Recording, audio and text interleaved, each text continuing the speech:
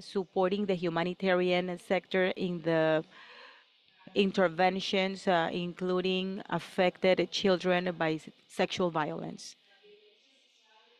Sexual violence perpetrated against uh, children in humanitarian contexts are usually not reported or addressed enough.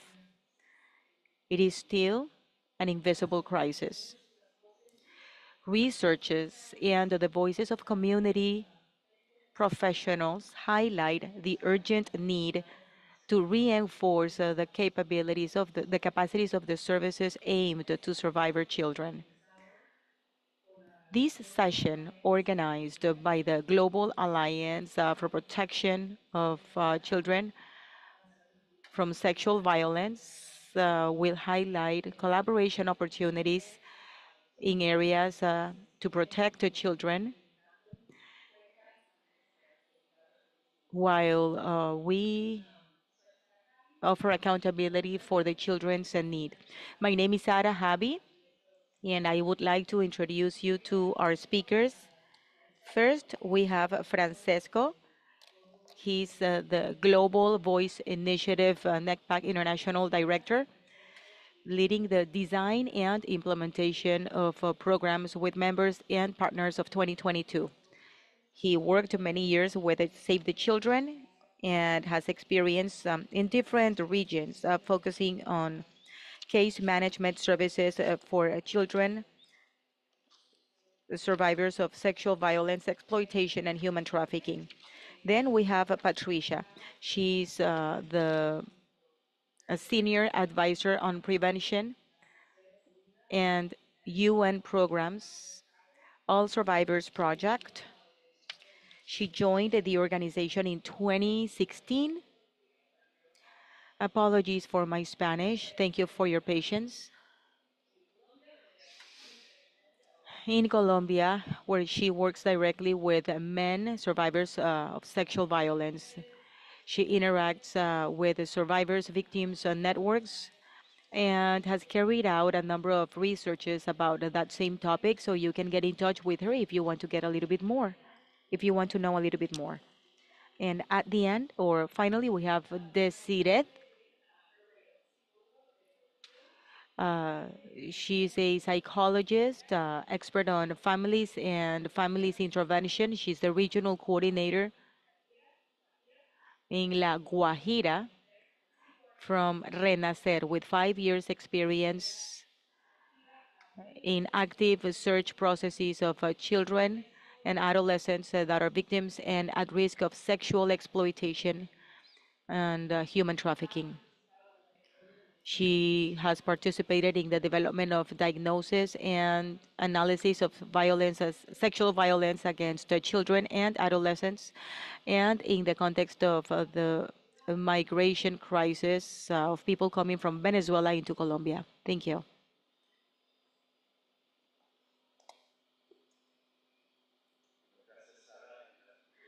Thank you, Sarah. Thank you, everyone, for being here. My name is Francesco, and I'll try to be very quick. Before starting the session, I'd like to reiterate three main aspects, just almost like a disclaimer when we talk about this topic and the work of a global alliance for the protection of boys from sexual violence. It's pretty long, but we call it GAP. You'll be able to see the logo later on. And uh, the three points that I want to mention is that when we talk about boys, uh, male gender, we're talking about boys. We believe that all boys and girls have the rights to be protected against any type of sexual violence. The second disclaimer is that with the work that we do with the Global Alliance, uh, we recognize that girls and women are the main victims of any type of sexual violence, and uh, that the gender roles and standards and uh, the patriarchal system affects mainly girls and women. And with the work we do at the Alliance, we do not want to distract from that attention. We want to support greater efforts on eliminating violence against children. We believe that the work can complement the work on gender based violence.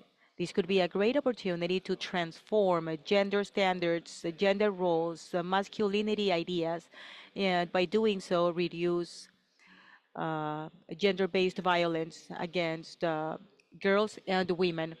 And the third point, what you are about to see today is our first presentation as an alliance, and this is a work in progress.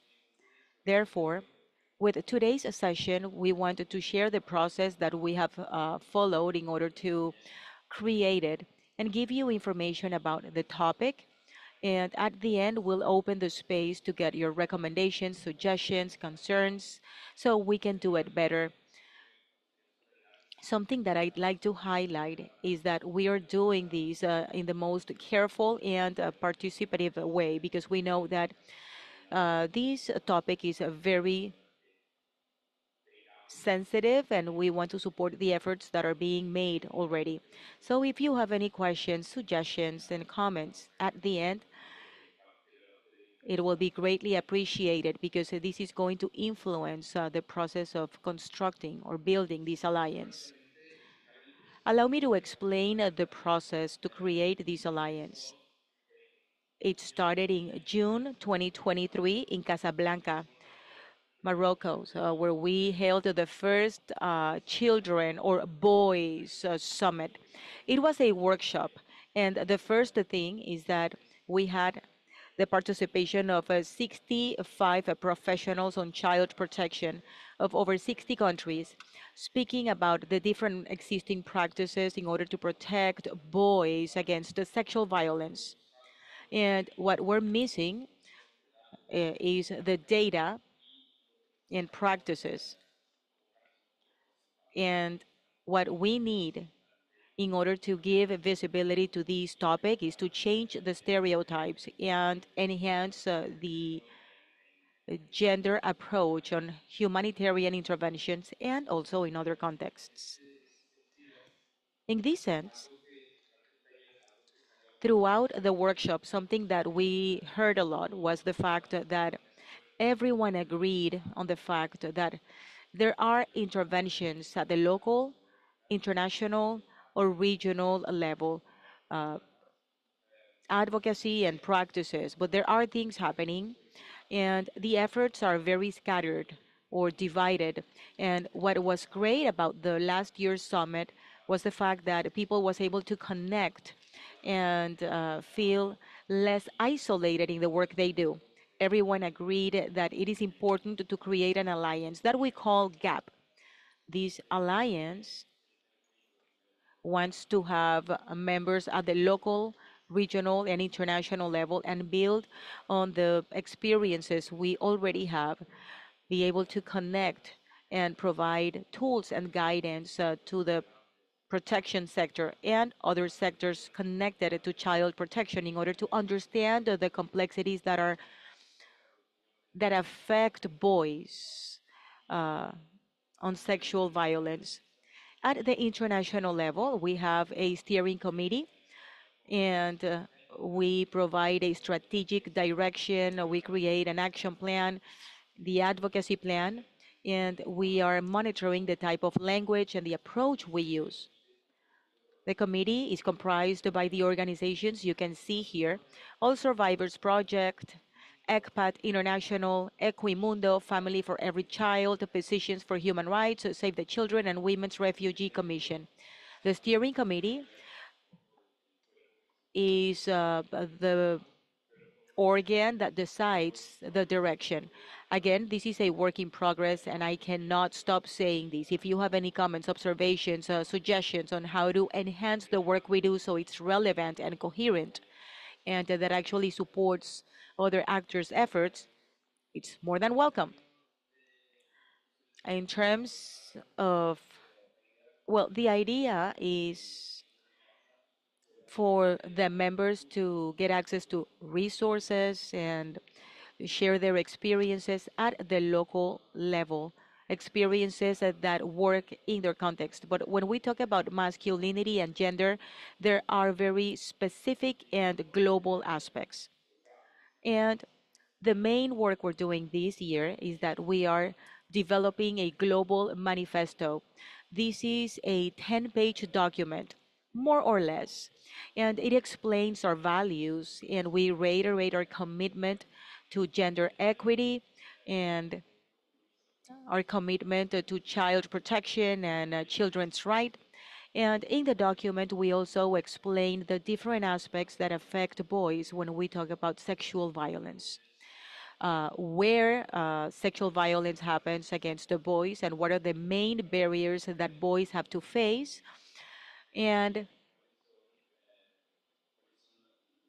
what are those gaps or the barriers in order so we can work with them. So the manifesto is taking quite a while, uh, but we want it to be adequate and right. It will explain the content, our values, and our call to action. And something that I want to we opened a consultation process with organizations uh, from the gender-based violence sector and uh, the children with a different uh, sexual orientation, uh, disability organizations, uh, survivors-led organizations, and feminist organizations based in uh, the South.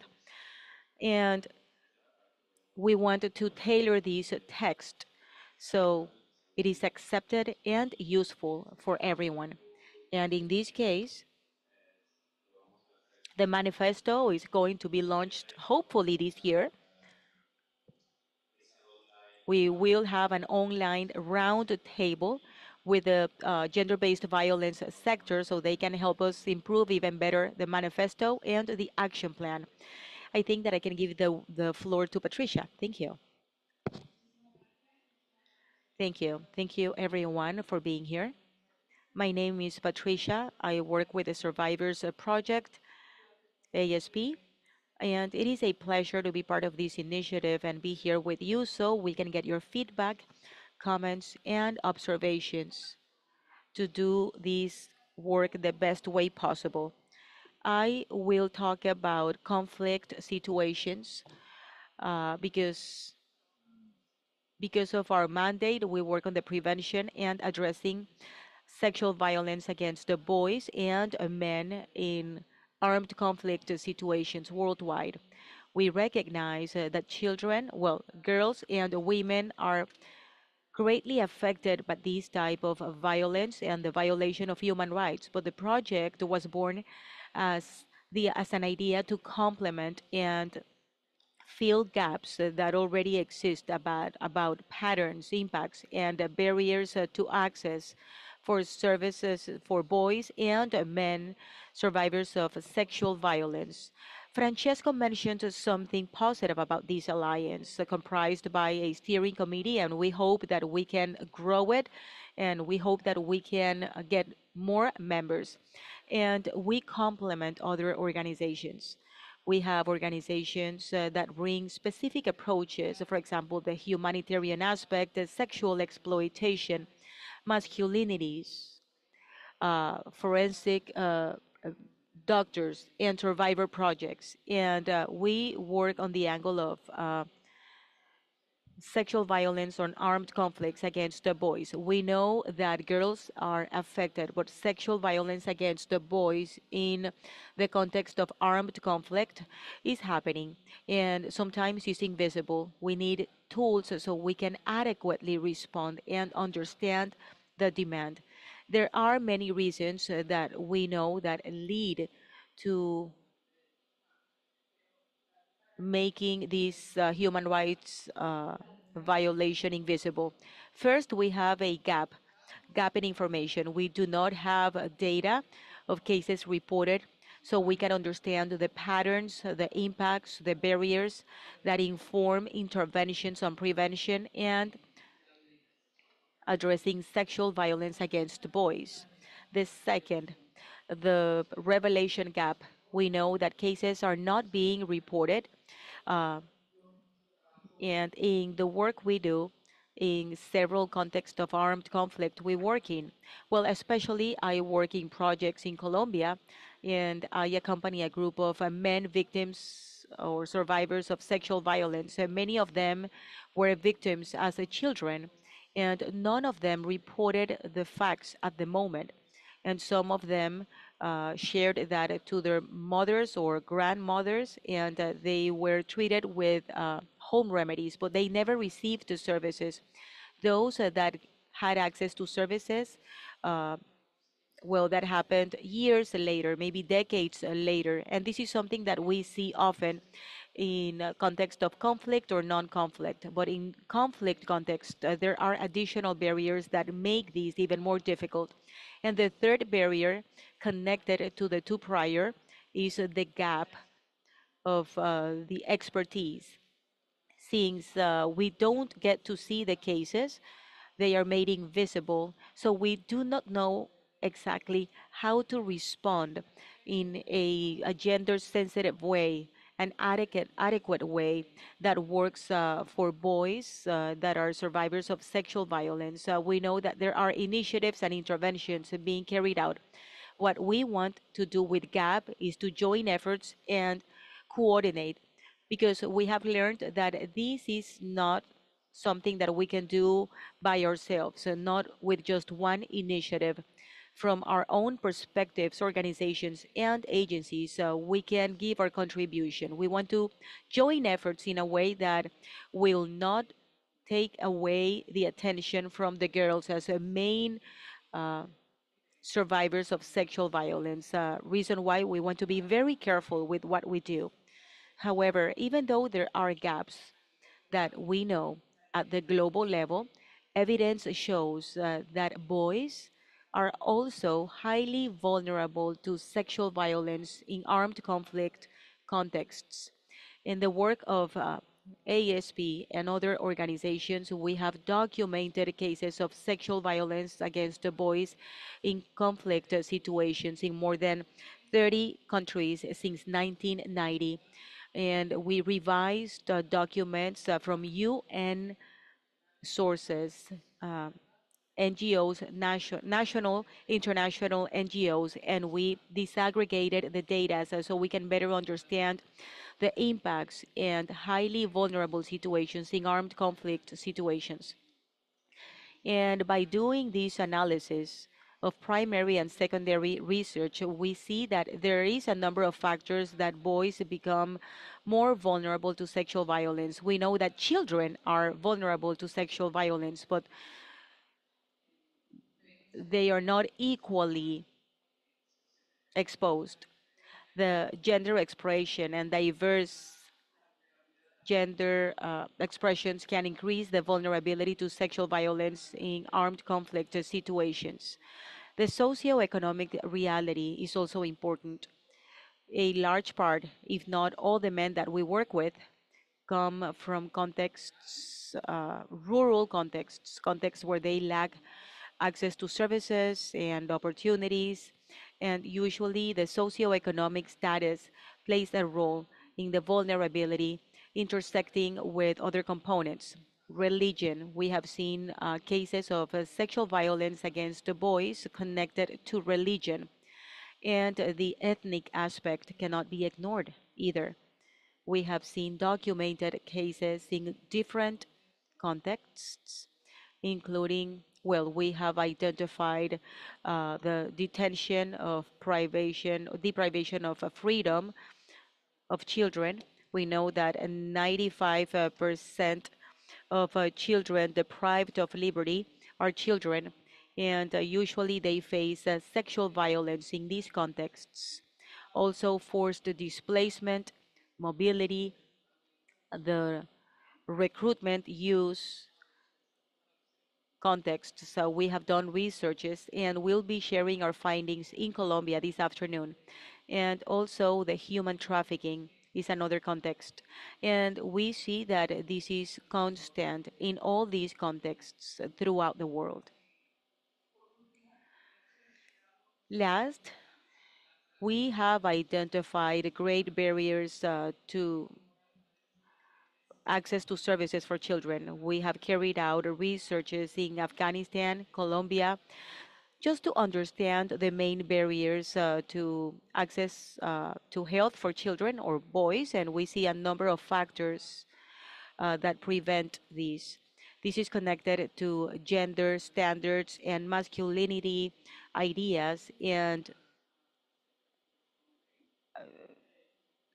the s- the idea boys have as being perceived as gays and the relation that exists uh, between homosexuality and sexual violence against uh, boys and men and prejudices exist uh, some things that we have identified is uh, gender sensitive documentation. We need to have inclusive legal frameworks as far as gender, uh, not gender biased. And this is important. It's not that this is for everyone, but we need to consider the unique needs of the boys and the girls. We need strong uh, children protections uh, system. Sometimes uh, it, take, takes years uh, to build them, but they are needed for protection.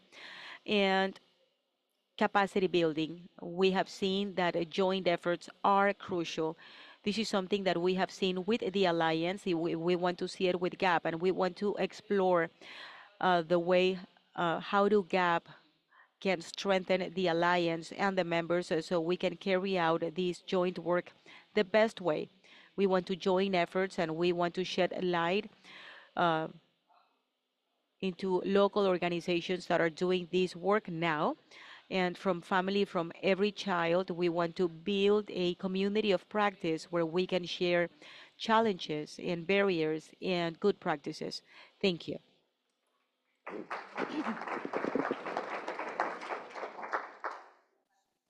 As Patricia and Francesco has stated, for nobody, it's a secret that women and girls have been the main victims of sexual violence.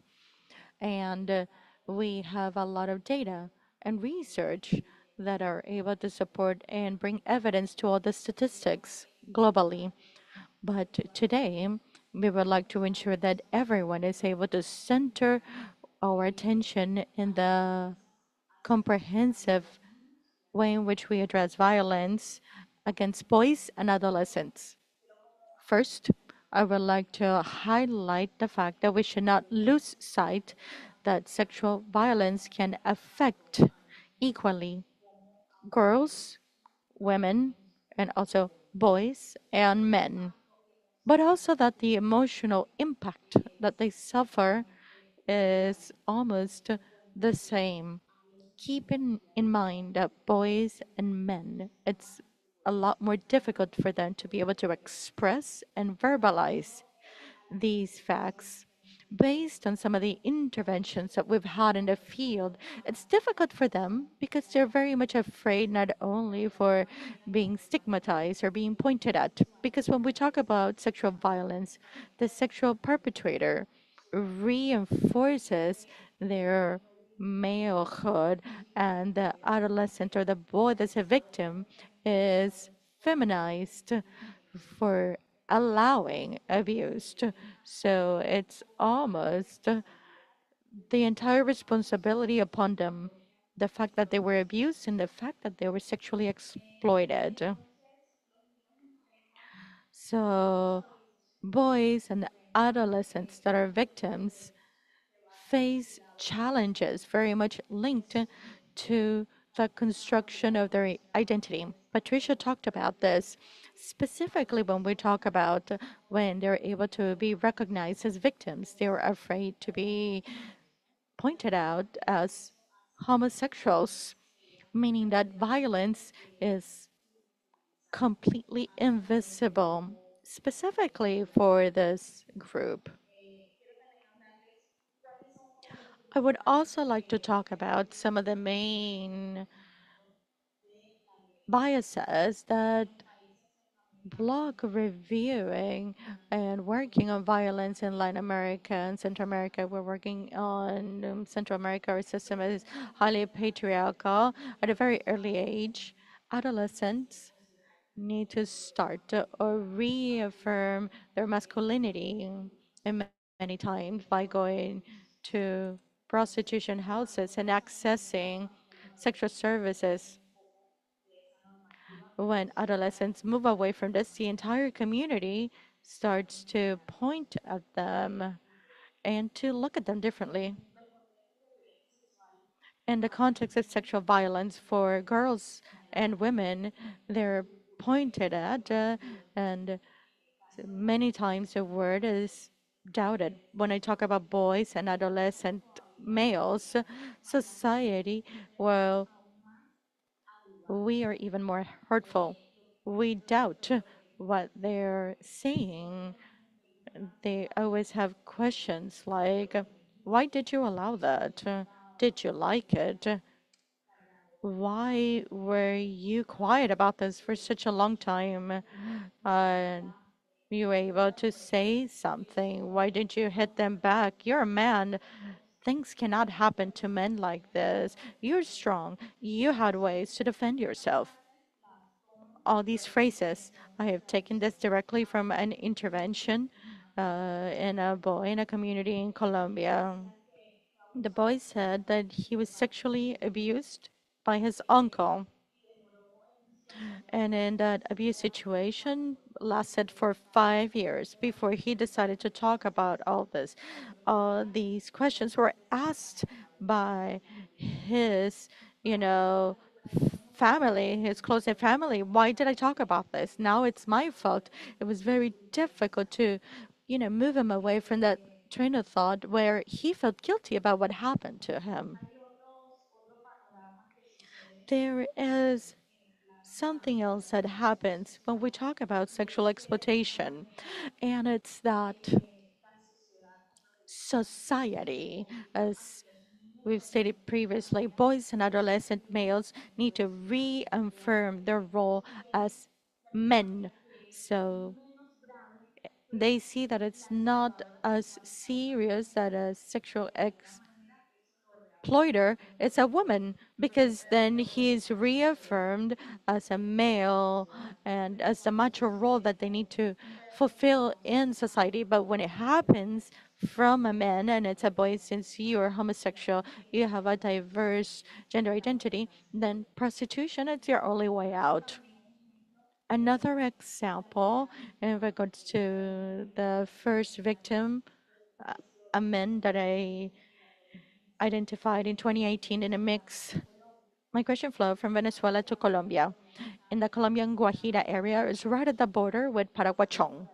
And they went through that area with hundreds of people that were Venezuelan migrants, among them boys and adolescents, which were unaccompanied back then at the border municipality where we carried the report to be able to report to the competent authorities a situation of sexual exploitation of a boy.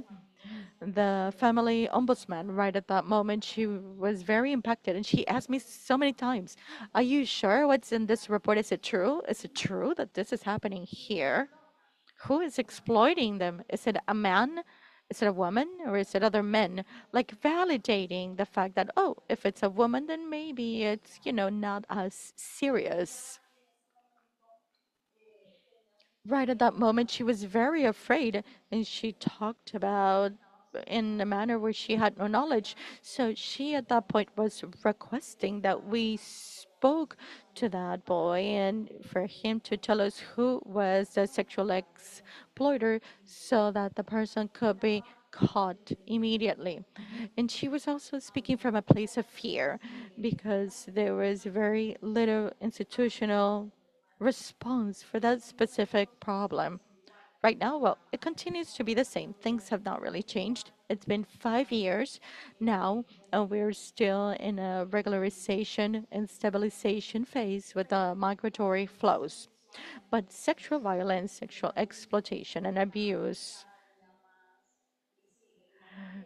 it's a lot more visible right now. Something that's really positive, quote unquote, in regards to migration is that humanitarian assistance has come into the territory, and we have been able to bring visibility to all these cases of violence, abuse, exploitation, and human trafficking of boys and adolescents.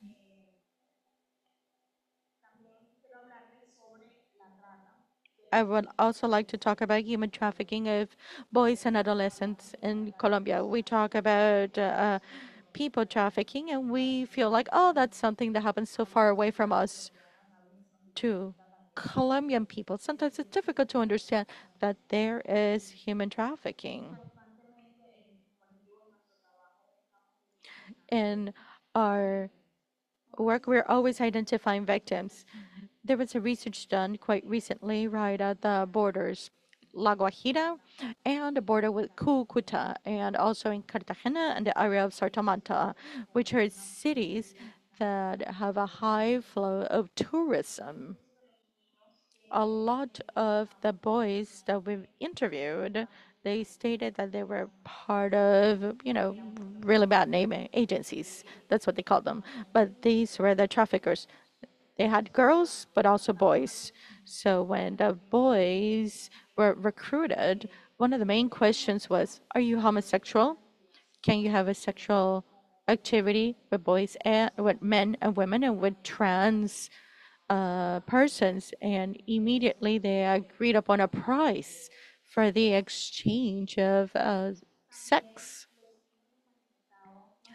And also, the boys stated that they created fake IDs for them, fake passports.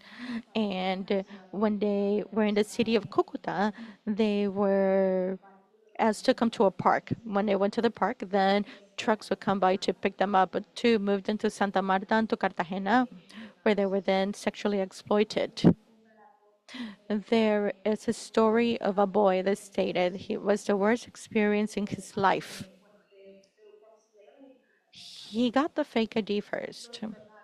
He, he was sexually exploited, and after that, they did not pay for what was agreed. The boy stated that after the sexual exploitation and the activity with a perpetrator, he decided to leave and he thought that they were going to pay but since the initial agreement is that they had to stay for 15 days in that island they said that since he left he could not be paid. These are realities that boys that are sexually exploited have to live through. Also in the area of Maicao quite recently in December 2023 we identified that there are virtual platforms because now you don't see the boys in the context of prostitution like in the street, but it's done through platforms where people are able to have access through their cell phones, and in that manner, they're able to contact the boys and the adolescents for the sexual exchange. And it's something that decreases the level of visibility and it further exacerbates the sexual exploitation situation because how can we control that? There are other challenges, as it was previously mentioned. Access to protection services. We've talked about the need of continuing to train and create awareness and and training to institutions, to the first responders, to victims from the very first moment that a report is made. In these spaces, they re-victimize, ask additional questions, or ask questions in an inadequate manner, or when they typify the crime, it's done wrongly they don't use sexual exploitation, they don't use human trafficking. It's just sexual abuse or carnal abuse to a person. In Colombia, we have a jurisprudence that is able to sanction sexual uh, violence and exploitations but this process is very slow. And for victims, it's very difficult. And uh, access to justice, it's difficult. And when we talk about it's just natural. They say, oh, he's homosexual, then he liked it. He decided that uh, uh, he wanted prostitution. We can't do anything about that. It's a case that would further collapse the judicial system. All these phrases have been stated out there in the territory when we bring up cases of boys and adolescents that are victims of sexual exploitation and of human trafficking. So the main challenge challenges is that it's become natural. It's invisible. It's very few organizations that are carrying out um, research. It's usually uh, NGOs or civil society. It's not part of the Colombian state. lack of studies. I take advantage of this space to invite universities. I'm inviting academia. Please let's start from the different university research groups. We should start to study and bring visibility to violence, sexual violence specifically for boys. That would then allow us to obtain real data and uh, about the situations, and we must believe them. I have another message sexual exploitation is not part of the life project of any boy or adolescent. Thank you. Thank you very much for allowing me to be part of this exposition. I am Estela Duque. I am from Colombia. I am part of the Psychosocial Center Taller de Vida, and we're also members of the organization Family for Every Child. which brings together 32 countries and it's 47 organizations. 47 organizations with a proposal of an intervention with families joined together. First, to guarantee that all boys and girls have the right to a family, but also to ensure that they are protected from different forms of violence. That's the partnership as a partnership family for every child in the year 2019. We had a meeting in Chile, five organizations together. It was Colombia, Guatemala, Mexico, Chile, the Philippines. And we started to reflect upon the fact of something that we found in the work we did, which was sexual violence against boys and we realized that it was not being addressed and it was not being recognized. In Colombia, we work with boys and girls that come out of the armed groups. They leave them. And then we realized that we had some reports and we had some cases. But in all the attention protocols or care protocols of all the different institutions in regards to reinstituting their rights, this was not included. And as Desiree stated, it was unknown. So in 2019, we talked about this. Philippines, on their part, they work with children from the Catholic Church, which were in boarding houses, and many of them had uh, suffered sexual violence in these boarding houses or boarding schools. And the Philippines organization was intervening at this point. In Chile, it was the same thing. We worked with another organization that was working with boys which had suffered sexual violence in the framework of the Catholic Church and its institution. And in Guatemala, they looked at migration. These boys that had suffered different situations in the migratory process, but they also had sexual violence specifically against boys. This is something that led us to research study for boys. How, what to do on behalf of Family for Every Child. And we decided that the best way to respond was to develop a global campaign and to raise our voices, join efforts together, and to try to bring visibility to the fact that boys are also exploited, used, and are sexually violated. Where we created a campaign of the Blue Umbrella. The Blue Umbrella campaign, it's developed since 2021.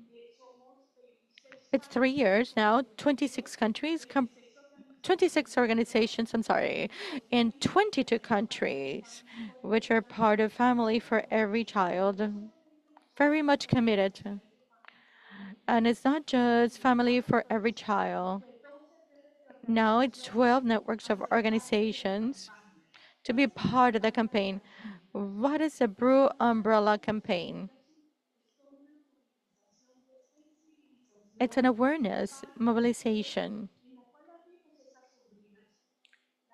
where we open the blue umbrella. Um, It's a shame that I didn't bring it out with me today, but we do open the blue umbrella and we talk about the topic in Colombia. I would like to highlight this where I work, and for 30 years we support boys and girls who have suffered in the framework of the armed conflict displacement and other situations, but we support boys and girls and also adolescents and youth in the process of inclusion into the civil society.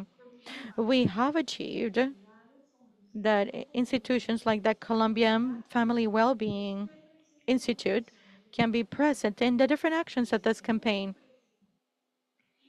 very present, so that they can start uh, to talk about the protocols, how they are able to intervene, and how we can show and recognize the impact of sexual violence against girls. Yes, but we should also look into protocols when is boys and adolescents. Very, very much related to the cultures of origin. We are a country that is multicultural, diverse, indigenous, and Afro population, which is not just Colombia, but many other countries in Latin America, Asia, Africa, and many places in the world. And how can the protocols be further expanded? Right now, we work from the campaign, which starts every April 16. We open up the blue umbrella, and it's kept open throughout the year, supporting actions in the world including voices and raising awareness. In Colombia, we have allowed organizations like the National Institute for Wellbeing to be part of that campaign. Something else that we were able to achieve is that the governments in the regions, like uh, uh, and also uh, the mayor in Risaralda, which is a different department in Colombia, we have all the participation of the mayors, uh, social actors, and responsible of public policies to work on this. And we have also worked with the support of the media. This year, three regional TV channels allowed us on April 16 to talk about this and to invite youth.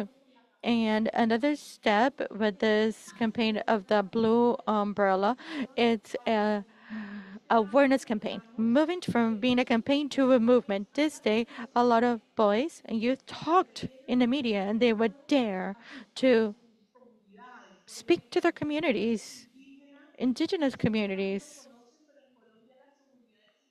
I don't know, but if you know this, but in Colombia, indigenous communities work with different organizations and they have their own councils, their own laws, and their own ways of managing politically. So, how they manage their lives and all these aspects. But we also have things related to providing services to those that are part of the leave the armed conflict. So we are partnership to bring visibility to this, ensuring that it happens, and to be able to find different ways of intervention. The Blue Umbrella campaign continues to have the umbrella open. I invite you, hopefully, to be part of this. We need to mobilize policies we are seeking something to ensure that gender violence recognizes the violence against boys from the gender identity that we can recognize. Some as it's been stated here, if there's a diverse identity, it's hidden and used as a manner of justifying violence. So we need to continue to advance. We need to continue to transform ourselves. And our invitation is to ensure that you're part of this. Join us. We feel that there are a lot of processes that are missing. But also we need a lot more research in regards to the impact, how to transform this, how to accompany them. Also, I would like to bring up a framework here, which I felt that is missing family in many of the different processes that we have been able to address here.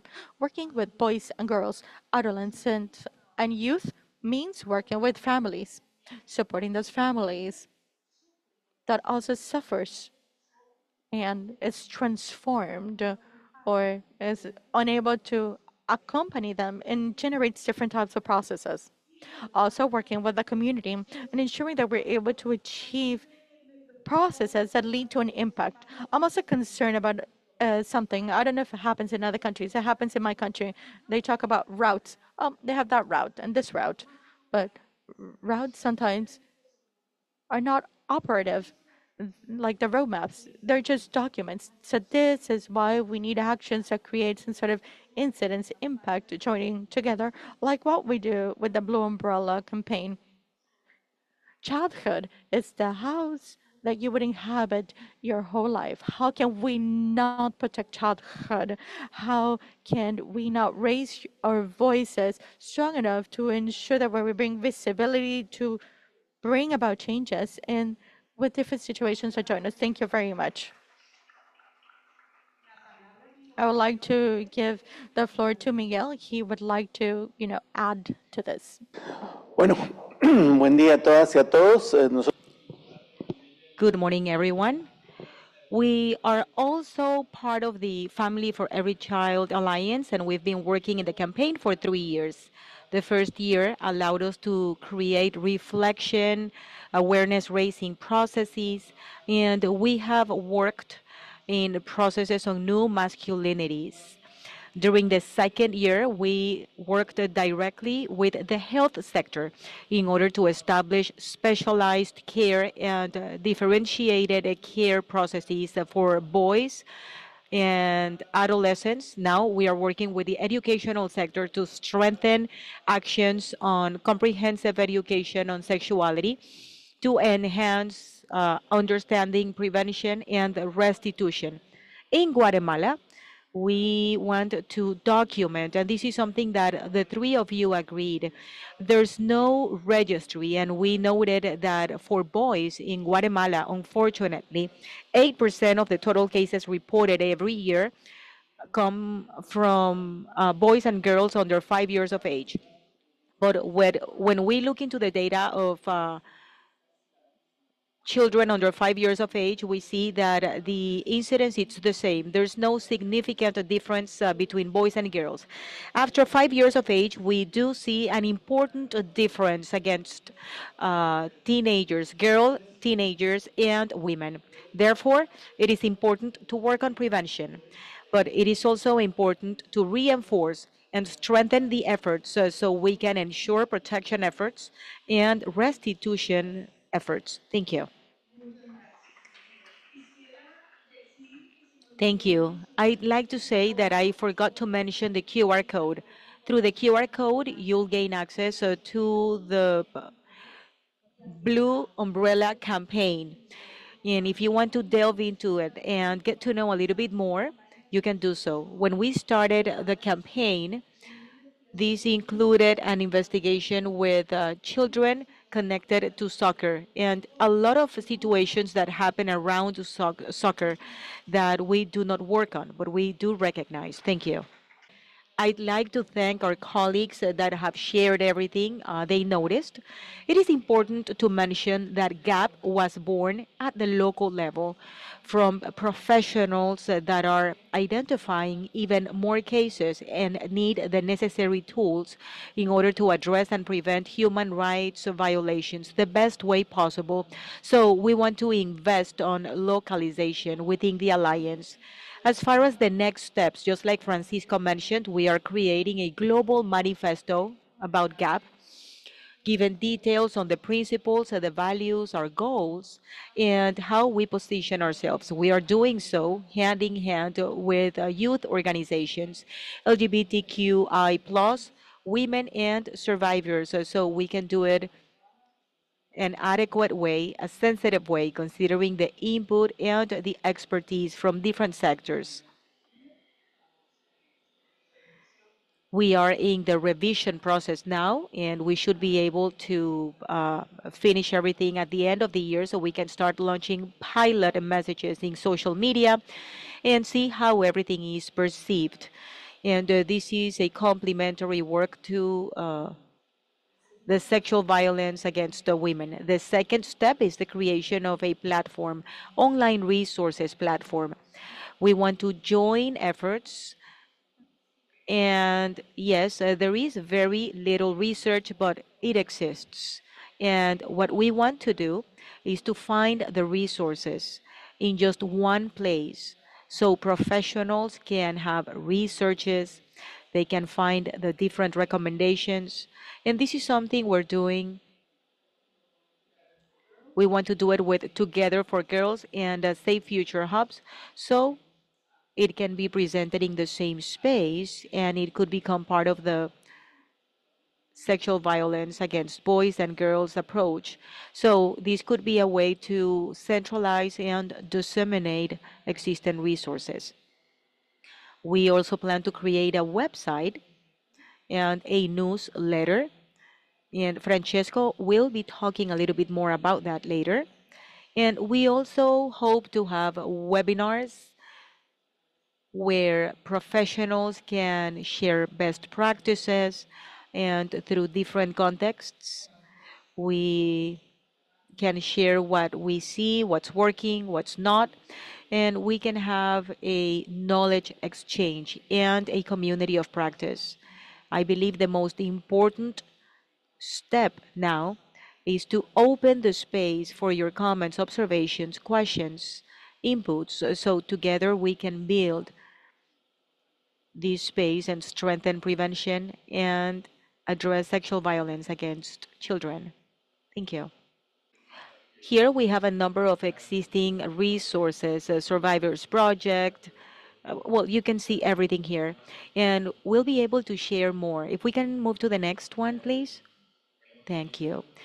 We created a form with a QR code.